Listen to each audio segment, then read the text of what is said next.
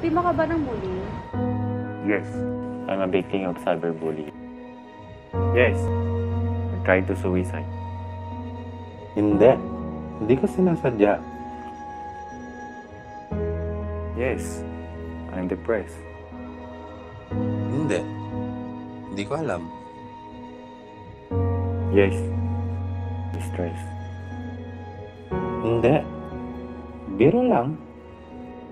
Minsan, hindi ko nakakilala yung sarili ko eh. Wala eh. Kita ko masaya. Nasaktan mo na ba yung sarili? Na-depress ka ba? Na-stress ka ba sa ginawa niya? Ano yung epekto sa'yo ng ginagawa niya? Oo, pero iniisip ko pa rin yung mangyayari.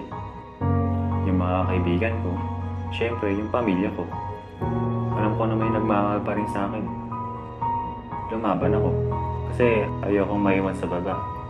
Kasi gusto ko pang may mas makita sa sa sarili ko.